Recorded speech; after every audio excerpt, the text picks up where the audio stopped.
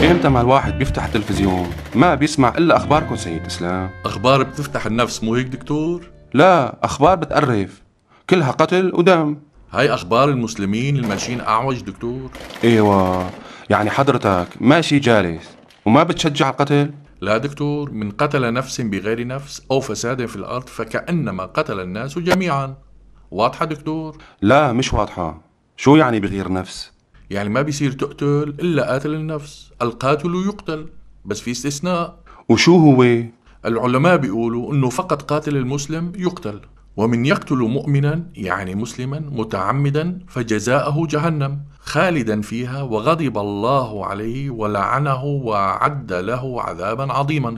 وشو بالنسبة لغير المسلم مثلي؟ الكلام ما بخصك دكتور أنت كافر وإذا قتلك المسلم لا يعاقب بالقتل. ولكن إذا قتل كافر كافر يعاقب بالقتل.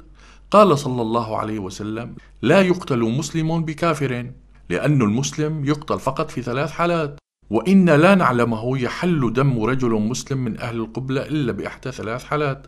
رجل كفر بعد إسلامه فعليه القتل أو زنى بعد إحصانه يعني كان متزوج فعليه الرجم أو قتل متعمدا فعليه القوت يعني لا عقوبة على قاتل الكافر. مبلا مبلا دكتور الإسلام دين حق وعدل يا أخي شو هالحكي؟ طبعا طبعا. وشو عقوبته؟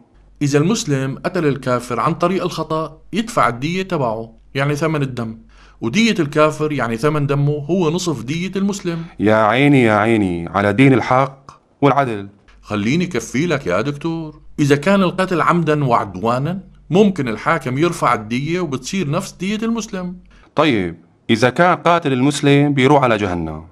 معناتها نص الأمة الإسلامية بجهنم. إيه ليش دكتور؟ ليش؟ لأنه من 1400 سنة ولحد اليوم بتذبحوا بعضكم. إيه إيه بس هاد قتل غير متعمد دكتور. إيه العمى بقلبك شو إنك ناكر للحقائق ومنافق. دكتور ما بدك تعرف شو معنى فساد في الأرض؟ لا خليها للجلسة القادمة. تفاهة الله اليوم. إيه على راسي دكتور مثل ما بدك.